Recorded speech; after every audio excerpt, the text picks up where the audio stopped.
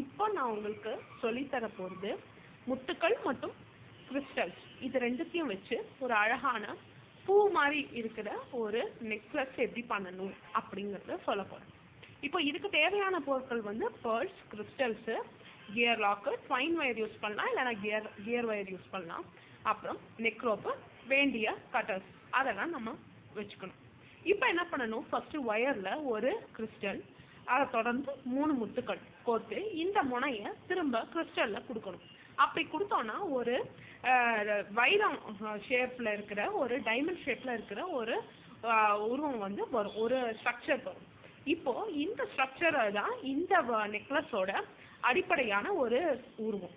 இப்போ இந்த இதோட நம்ம கிறிஸ்டல் ஒரு கிறிஸ்டலும் அப்புறம் ரெண்டு முத்துக்களும் கோர்த்து இந்த முனைய முதலையே இருக்கிற அந்த டைமண்ட் ஷேப் ஸ்ட்ரக்சரோட ஒரு சைடுல இருக்கிற முத்தோட போட்டு திரும்ப மேல் பக்கமா எடுத்து கிறிஸ்டலோட சேர்க்கணும்.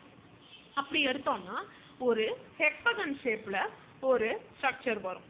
இதோட நம்ம கிறிஸ்டலை ஆட் பண்ணி கடைசியா அதையும் திரும்ப மேல் மேல் நோக்கி எடுத்துட்டு வந்து முதல்ல இருந்த கிறிஸ்டலோட ஜாயின் பண்ணி வெளில எடுத்தோம்னா ஒரு பூ மாதிரி ஒரு ஸ்ட்ரக்சர் கிடைக்கும். இதுல வந்து பாத்தீங்கன்னா எட்டு பீட்ஸ் இருக்கும். ஸோ நான் ஒரு பூங்கிறதுனால நான் எட்டு பீட்ஸ் யூஸ் பண்ணியிருக்கேன். பேர்ல் அண்ட் கிறிஸ்டல் சேர்த்து இப்போ இது இதுதான் இந்த ஃபுல் நெக்லஸோட அடிப்படையான ஒரு ஸ்ட்ரக்சர் ஸோ இதை நம்ம எவ்வளோ வாட்டி நம்ம வந்து தொடர்ச்சியாக பண்ண பண்ண நம்மளுக்கு பெரிய செயினாகவும் பண்ணிக்கலாம் சின்ன செயினாகவும் பண்ணிக்கலாம். இது வந்து பூ டிசைன்கிறதுனால எல்லா விழாக்கள்லையும் போட்டுக்கலாம் எல்லா ட்ரெஸ்ஸுக்கு போட்டாலும் அழகாக எடுப்பாக இருக்கும். இப்போ இந்த இதை வந்து முடிக்கிறது வந்து கடைசியா ஏர்லாக்கும் ஜம்பிங் செஞ்சு முடிச்சுட்டு அப்புறம் நெக் ரோப் போட்டோம்னா நம்ம கழுத்துல போட்டுக்கிற மாதிரி பண்ணிக்கலாம். நெக் ரோப்புக்கு பதிலாக செயின்ஸ் யூஸ் பண்ணுறதுனாலும் பண்ணிக்கலாம். அப்புறம் இந்த தோடுகளுக்கு என்ன பண்ணணும் அப்படின்னா நம்ம முதல்ல ஃபார்ம் பண்ண அந்த டைமண்ட் ஷேப்டு ஸ்ட்ரக்சரையே இது எத்தனை வாட்டி நம்ம நான் இதில் வந்து ஏழு வாட்டி ரிப்பீட் பண்ணியிருக்கேன்.